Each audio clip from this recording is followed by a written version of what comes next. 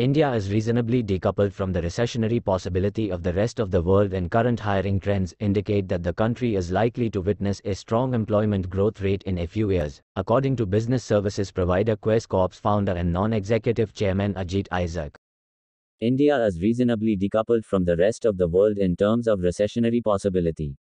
We will continue to see growth in India, maybe not at 8%, but we will see growth. We saw a great period of growth in employment between 2000 and 2007. The GDP went up from $470 billion in 2000 to $1.2 trillion in 2007. We'll be able to come back to seeing that rate of growth in a few years if current trends are an indication to go by, said Isaac at the event in Bengaluru on Wednesday to announce the rebranding of job discovery portal Monster India, say Asia and Middle East into talent platform, foundit to offer a range of services for job seekers and hiring managers.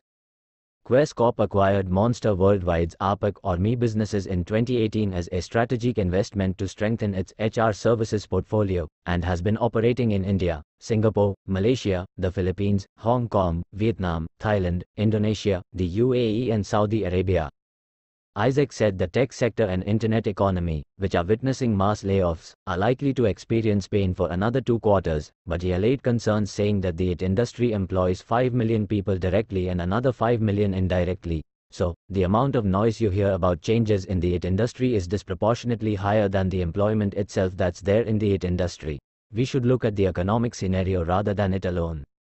He elaborated that BFSI and manufacturing saw the largest employment growth in a segment going by Quess's own database. The core sectors are hiring more and more, which is a great sign for India. However, tech itself will influence employment in India by way of greater connectivity, digitization and 5G services which will enable a greater volume of the workforce, especially women, to work from home and boost the economy, he added. Isaac also spoke about the much debated issue of moonlighting, saying that the employers are winning the issue but only in a limited way, but only till rules and frameworks emerge. The desire of people to do more, work more, and earn more cannot be suppressed.